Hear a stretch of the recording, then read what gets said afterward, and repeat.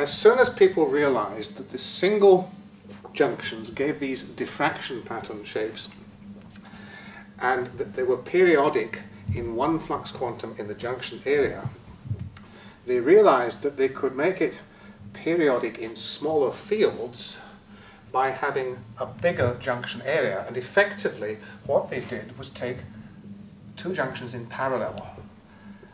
Effectively, what they were attempting to do was to mimic the experiment in Young's fringes, in which you go from a single slit, which produces a diffraction pattern, to a pair of slits, which produces an interference pattern. Okay, so this is in fact directly equivalent to a two-slit, Young's slit experiment. We have two slits, Yep. and they come through, and the diffraction pattern we expect to see has an intensity that goes sort of sinusoidally like that. This is of course assuming that your slits are very narrow compared to their spacing apart. So, so again, you can now replace this and just say this is critical current Yeah, so- against magnetic field. These, these minima, now in the single junctions, the minima corresponded to one flux quantum in the junction, but now the minima correspond to what? One flux quantum in the loop? One flux quantum in the loop, yes. There's in fact another entirely equivalent way of thinking about this. And that is you could say, okay, well we have a, a superconducting loop, and of course the thing we know about superconductors is they will set up a current to repel a magnetic field. So we're putting a magnetic field around the thing, and it sets up a little current going around it to, to repel that field. So we'd say we have a little circulating current going around our loop like that. But we're also having the measurement current, which we're applying like that. So what that means is that for this junction, the measurement current goes, the total current going to the junction goes up, and for this one it goes down slightly. Yep. The result of that is that um, eventually you're going to go over the critical current of one junction. And at that point you're essentially getting a minimum in the, in the measured critical current. And um, as you change, and what happens then is you'll get one flux quantum able to get through this junction. And we end up with a single flux quantum inside the loop. Well, that's fine, but that actually means you've now got more flux, a higher flux density inside the loop than you do outside. And so the little circulating current has to reverse direction. And then and we increase the field a bit more, and that eventually And then- balances so out. this happens and periodically. It happens periodically. Superconducting wave function can only change its phase by uh, an integral number of 2 pi when you walk around the ring. The phase change when going around the ring is directly connected to the magnetic flux that you enclose in the, uh, in the superconductor. theorem says the diffraction patterns are just the product by multiplying one pattern with another one. So what that means is I can now draw in It's now the Young's double slit oscillation, so the cos squared oscillation, sinusoidal oscillation, multiplied by the fan Fraunhofer. So the fan Fraunhofer is setting the amplitude of this. exactly. So that was because of the finite size of the junctions in the squid loop. Yes, you get exactly the same thing with the, with the squid, with junctions which are relatively big compared to the size of the squid loop. Imagine throughout this discussion that I can sweep the current flowing through the squid from zero up to a value above the critical current and then back to zero again. And I do this continuously and rapidly. So in the absence of any applied magnetic flux, the current that I apply for a symmetric device will divide equally between the two halves of the squid. I over 2, I over 2. And we assume furthermore that each of these junctions can sustain a maximum supercurrent or critical current that I will call I sub 0. So that the maximum critical current of the squid will be 2 times I0. Now let's suppose that we apply a small amount of magnetic flux. So there's my squid again. What does the squid loop do? Let's suppose that we apply a, a flux in into the plane of the board.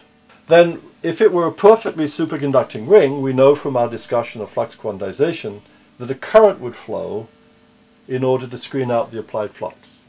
And so there will be a resultant current, I'm going to call it J, that will be induced around the squid loop to maintain the total flux at a zero value. But now if you look at what happens, what you can see is that when I now apply, in addition, a bias current to the squid, the bias current will induce, once again, a current I over 2 in the left-hand side and I over 2 in the right-hand side, but this current I over 2 adds to the current J so that the current flowing through the junction on the left exceeds that on the right, which evidently is given by I over 2 minus J. And so this is a very important distinction. So let's imagine now that we plot this circulating current J versus the applied flux. Well, in this simplistic model, this current will increase linearly with the applied flux. And now let's ask ourselves correspondingly what happens to the critical current of the squid. So this is, let's call it I critical max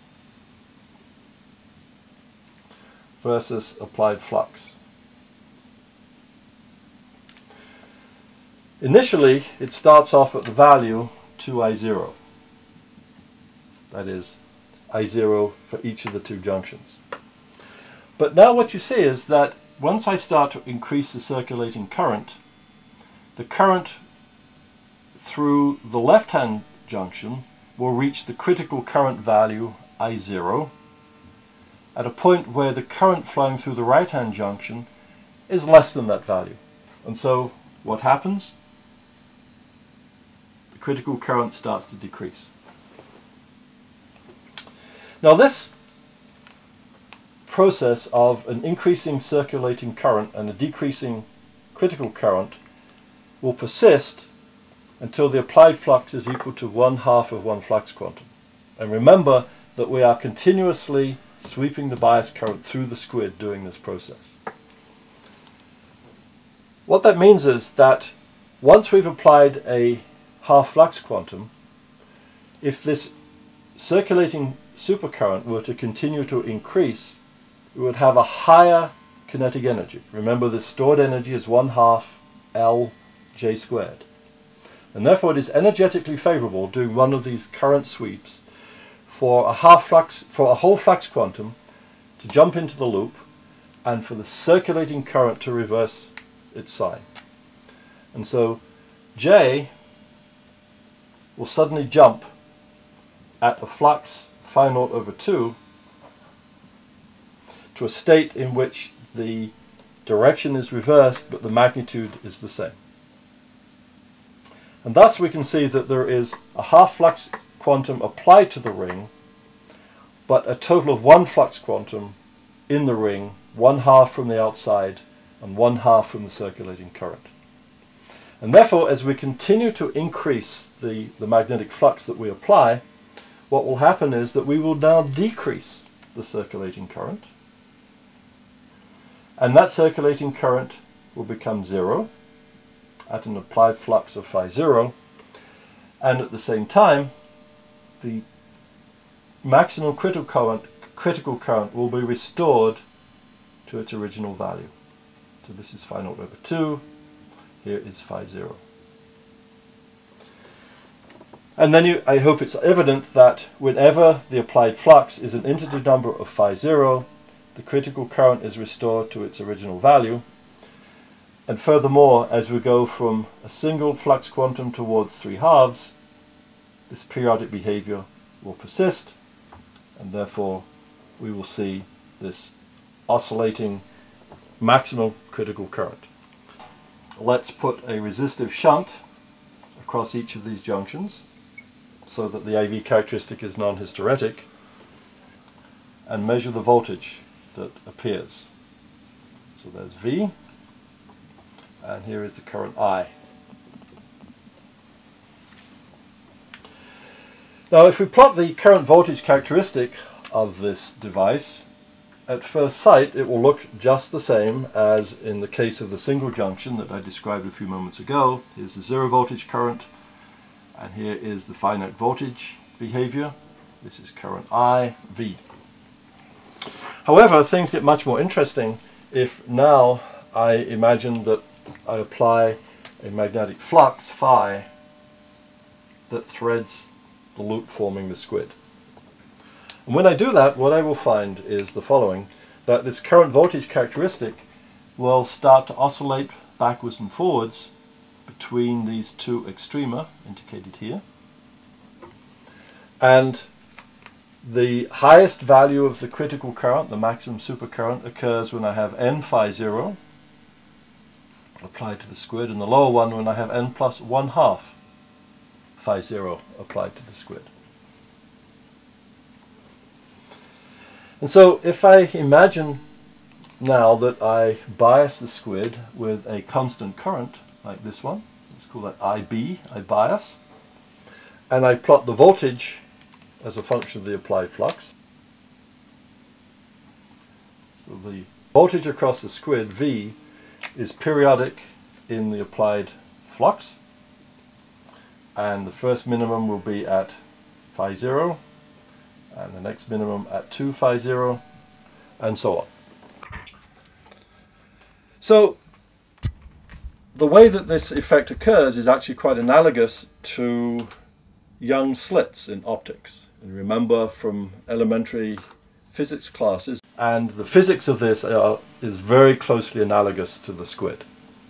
And that in fact is the origin of the acronym. This is a superconducting quantum because it has quantum behavior, involves the flux quantum, interference device, and interference as in the optics case. Well, this is very pretty to behold, but let's now ask ourselves, okay, we want to make a device out of it. How would we do that? Well, let's imagine that we now apply a very small change in flux around the three-quarter flux quantum point. And so this is a change delta phi, it's immediately evident that the change in the voltage that occurs will, will be related to the slope of the current flux curve and I've got a corresponding change delta V. And so the, the squid itself is a flux to voltage transducer that I apply a flux at one end of the device, which is a difficult thing to measure, and the voltage across the device that results from this I can easily measure with conventional semiconductor electronics. And as a matter of fact, in uh, today's standard technology operating at 4 Kelvin, I can see a change in flux, delta phi, that is on the order of 10 to the minus 6 of one flux quantum per root hertz. And the per root hertz means with a 1 hertz bandwidth. And we can apply, this time we've a small magnetic field to modulate the critical current. Okay, so this time we expect something like a Young's double slit experiment. And here we go. There we have a nice, what looks like a nice, very periodic sine wave coming up, which is what you'd expect. The, in this case, the this is really equivalent, very much equivalent to a Young's slit experiment, where you've got two narrow slits which are quite widely spaced. Well, the first device I made that was useful as a squid was a little over 40 years ago.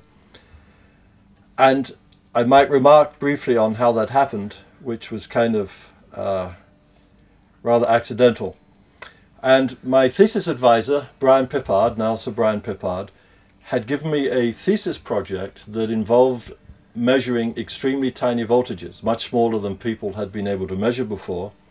And he thought that there should be a way of doing this with the very newly discovered superconducting quantum interference device. And I set about to try to make a suitable uh, device. The, the problem was at the time there were not very simple ways or very reliable ways of making Josephson tunnel junctions, let alone two of them. And I had made several attempts to make squids. One day at tea uh, in the Cavendish, which was a, a, daily occurrence at four o'clock, I was sitting at the usual table for the low temperature physicists with one of my colleagues who happened to share a, a room with me, Paul Wraight. And Paul said, you know, here's a really stupid idea. Why don't you think of taking a little piece of niobium wire, which has a natural oxide layer on it, and covering it with a, a blob of tin lead solder, which turns out also is a superconductor.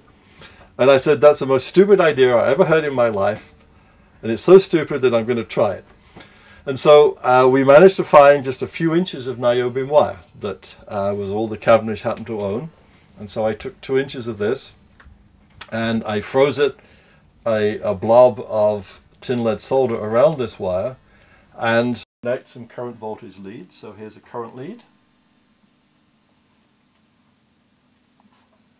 Current in the niobium, take it out of the solder and we measure the voltage like this between the niobium and the solder. And I then lowered this into a dewar of liquid helium that I happened to have there from a previously failed experiment. And I measured the current voltage characteristic and to my utter amazement, when I did that, I saw a characteristic that looked like this. And so it just turned out that the oxide layer on this niobium wire between the superconducting niobium and the superconducting solder was just what we needed to make a Josephson tunnel junction. And it's one of those experiments that it's very fortunate that it worked the first time because I would never have tried it a second time.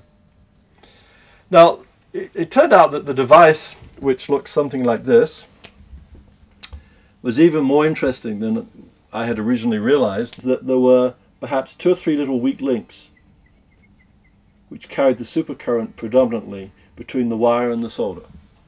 And so if you now remember that both the solder and the wire have a superconducting penetration depth, it's maybe a total of a couple of thousand angstroms, what you see is that the magnetic field produced by the current in the wire would thread this area and you can see now that we have a squid, we have two junctions and a loop, and the flux threading the loop gives us a quantum interference device. May 2006 issue of SUS, Superconducting Science and Technology, you'll see an account of the discovery of the RF squid by Arnold Silver of Ford Motor Laboratories and it's perfectly clear that as he was discovering the RF squid, and for two years afterwards, he had no idea whatever how it worked. He did realize he had a magnetometer, but it was several years after it was discovered before people were able to explain it. I mean, squid means interference, and you'd think that means two junctions. But it, it, uh, the actual first squids were the RF squids, the AC squids, which only had one junction. Soon after Josephson published his effect, there was a group at Ford Motor Labs in America who were experimenting with rings. They wanted to put two junctions in, but they soon discovered it didn't matter whether you had two junctions in or one. And so they had a superconducting ring like this. And they were interrogating it with RF.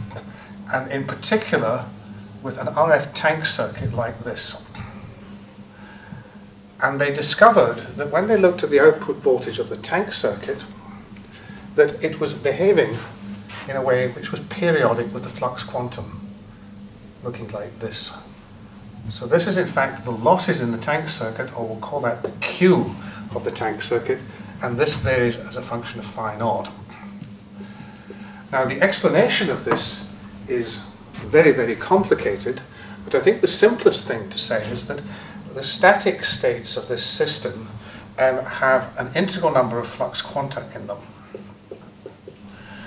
But as you apply RF uh, magnetic field to this, you start inducing a screening current like this, and eventually the screening current will exceed the critical current of this junction. And at that point, you get a resistive transition as an extra flux quantum pops in through the junction like that. And that produces dissipation temporarily in the junction and in fact, because this is coupled to this tank circuit, it drains energy out of the tank circuit. And not to go into too much detail, it takes time for the tank circuit to build up energy again. And when it does, it induces another of these transitions actually in the opposite direction. And the number of transitions per second um, effectively turns out to be the Q of the circuit, and it turns out also to be a periodic function of the static applied field. And most importantly for this, there is no external uh, DC connection to this single loop. At, at its simplest, all we can say is that a DC squid, um, you measure the critical current of the junction as a function of field, or the pair of junctions as a function of field, by applying a DC bias and an AC bias to help read out the current. In the case of the RF squid, you apply an RF bias plus an AC bias uh, and phase sensitive detection to read out the amplitude of that current.